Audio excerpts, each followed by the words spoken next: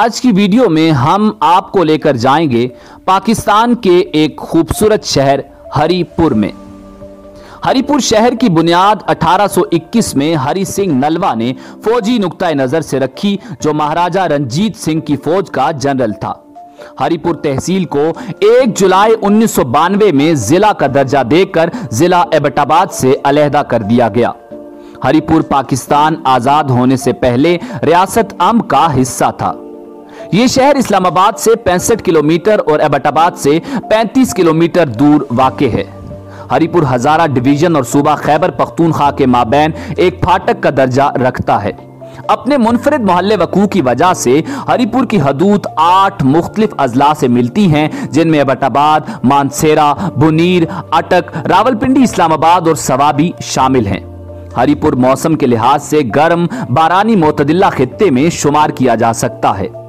ہری پور ضلع کا کل رقبہ سترہ سو پچیس مربع کلومیٹر ہے اور کل آبادی تقریباً دس لاکھ ہے۔ ضلع ہری پور کو غازی اور ہری پور دو تحصیلوں میں تقسیم کیا گیا ہے۔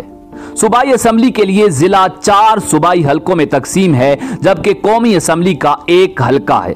دو ہزار دو میں منعقدہ بلدیاتی انتخابات میں ضلع ہری پور کو پینتالیس یونین کاؤنسلوں میں تقسیم کیا گیا۔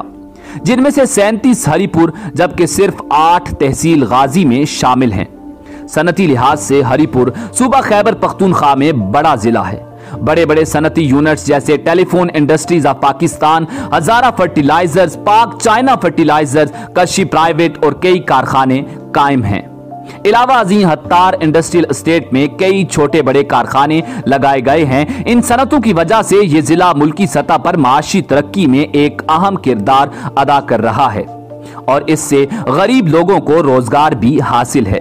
یہاں پر زرخیز میدانی علاقوں کے ساتھ ساتھ بلند و بالا پہاڑ بھی موجود ہیں۔ ایک طرف میدانی علاقے کھیتوں اور باغات سے لیس ہیں، جبکہ دوسری طرف یہاں کے پہاڑ، جنگلوں، ندی نالوں اور آبشاروں سے آباد ہیں۔ اس لیے یہاں حیوانات اور نباتات کی بہت سی نسلیں موجود ہیں۔ ہری پور کا زیادہ تر زرعی رقبہ بارانی ہے، جہاں سال میں دو بار ربی اور حریف کی فصلیں بوئی اور کاٹی جاتی ہیں۔ یہاں پر عام کاشت کی جانے والی سبزیوں میں مٹر، ٹماٹر، آلو، پیاز، کھیرے، بیگن، کدو، لہسن، ادرک، کریلا، ٹینڈا اور پیٹھا شامل ہیں۔ یہ ضلع خاص کر سبزی نہ صرف پشاور بلکہ اسلام آباد اور صوبہ پنجاب کو بھی مہیا کرتا ہے۔ ہری پور میں پھلوں کے باغات کثرت سے موجود ہیں، جن میں لوکاٹ، امرود، مالٹا اور لیچی جیسے پھل پیدا کیے جاتے ہیں۔ خاص کر لوکاٹ کی پیداوار کے حوالے سے ہری پور بہت مشہور ہے۔ اس کے علاوہ خانپور میں پیدا ہونے والے مالٹے اپنے ذائقے میں ثانی نہیں رکھتے۔ ان باغات میں بلڈ مالٹا اور شکری مالٹا حاصل کیے جاتے ہیں۔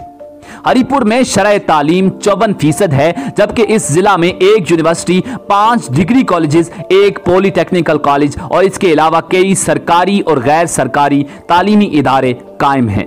ہری پور میں دنیا کا سب سے بڑا ڈیم، تربیلا ڈیم واقع ہے۔ جبکہ اس کے علاوہ خانپور ڈیم بہتری ڈیم، خیر بارہ ڈیم قابل ذکر ہیں۔ ہری پور کی مقامی زبان ہنکو ہے۔ جبکہ کچھ علاقوں میں پشتو، گوجری اور پہاڑی بھی بولی جاتی ہے۔ زیادہ تر لوگ نوکری پیشہ ہیں جو اندرون اور بیرون ملک ملازمت کرتے ہیں، جبکہ کچھ لوگوں کا ذریعہ معاش، کاشتکاری اور باغبانی، مویشی پالنا بھی ہے۔ برے صغیر کے مشہور اردو شاعر قتیل شفائی اور فیلڈ مارشل ایوب خان کا تعلق بھی اسی ضلع سے ہے۔ ہری پور کی مشہور سیاسی شخصیات میں راجہ سکندر زمان، گوہر ایوب خان، عمر ایوب خان، یوسف ایوب خان، راجہ عامر زمان، قاضی محمد اسد، اختر نواز خان، گوہر نواز خان، پیر صابر شاہ اور فیصل زمان جہازہ والا شامل ہیں۔ اس کے علاوہ مشہور فوک گلوکارہ افشا زیبی کا تعلق بھی اسی ضلع سے ہے۔ ہزارہ موٹر وے ہری پور by pass Ghazi Barotha project اور سی پیک جیسے منصوبوں کی وجہ سے ہری پور کا مستقبل